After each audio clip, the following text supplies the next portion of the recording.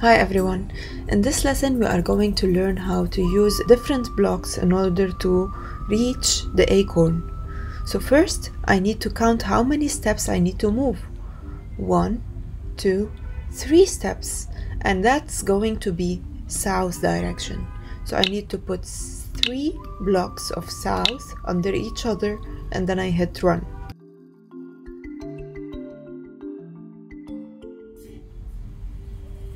In this level, I need to move to that direction, which is the E, east. So I need to use this block two times since I have two blocks.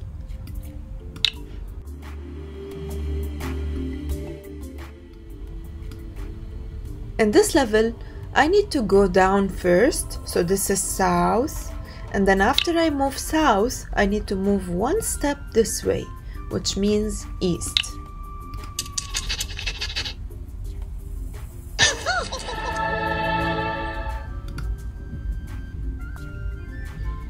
In this level, I need to move to the east two steps. After I move two steps east, I need to go one step up, but if I am confused, I can use the step button. It shows me in yellow which block is being used. I can click on step again, and now I used all the blocks over here.